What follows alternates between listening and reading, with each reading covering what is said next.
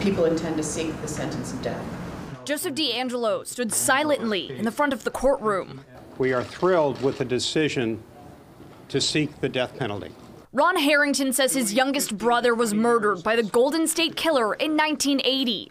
The Golden State Killer is the worst of the worst of the worst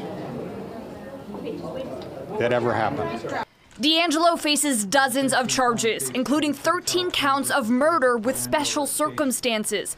District attorneys from four of the six counties where those crimes were committed, including Sacramento County, will seek the death penalty, despite Governor Gavin Newsom's moratorium on executions. We totally disagree with the moratorium. Last month, Newsom put a halt on the death penalty, even after Californians voted to speed up the process. In a statement, the governor's office says the DA seeking the death penalty for DeAngelo, quote, can pursue this action, as is their right under the law. He has now decided to take his own personal opinions and put those in front of the will of the people of California.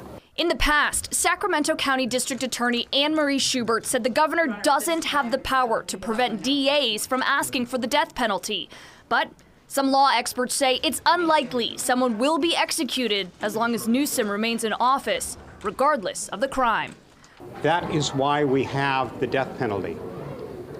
The death penalty does serve as a deterrent. Emily Maher, KCRA 3 News.